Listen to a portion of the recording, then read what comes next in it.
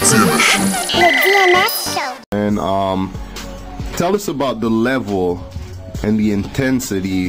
Um, I mean, I guess the distinction between the NFL and the CFL, man.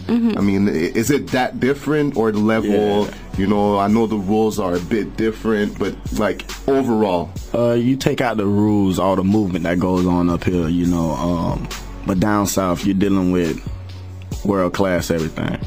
You know, it's like it's if the best way I could put it is the Olympics every day. Yeah. You know, the practice is the Olympics every day finals. I'm talking about the finals 100 right Yeah. now. You know, every day.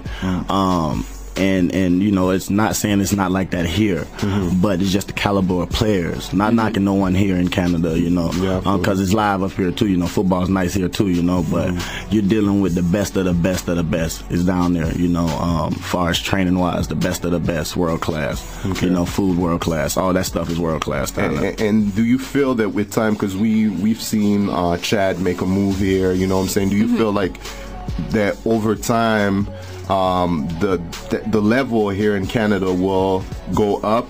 Do you feel like that there's going to be more and more players willing to come here, or I mean, it's too much of a prestige uh, difference for people to really be attracted to come here uh, to play football? Well, it's all about dealing or being open minded. You know what I'm saying? If you're not open minded to being able to jump the border, you know, we got a lot of people that don't want to jump the border. So it's a lot of high caliber players that scared to jump the border.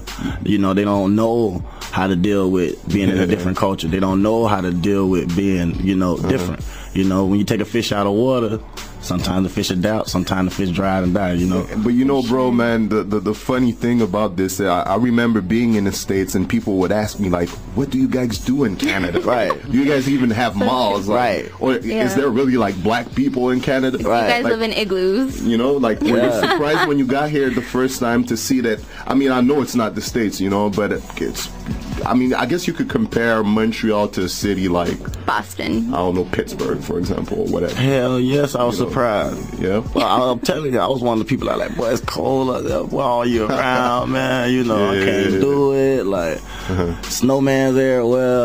You know? Then I get up here, I'm like, damn, St. Cat got a lot of people you know.